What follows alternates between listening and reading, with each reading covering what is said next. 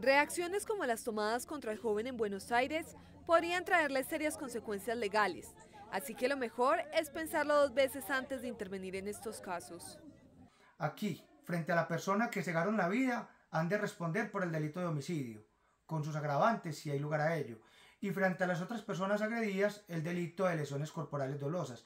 Él lo llamaba a responder. Este tipo de acciones no corresponden a legítima defensa, sino por el contrario, es un delito. Lo cual está vedado. ¿Por qué? Porque las únicas personas que pueden intervenir son las autoridades para poner a disposición a esta persona y poderla judicializar. Una vez la persona es capturada, debe ser dejada a disposición de las autoridades competentes, como la Fiscalía o la Policía de Infancia y Adolescencia, si se trata de un menor, quienes se encargarán de iniciar los procesos respectivos.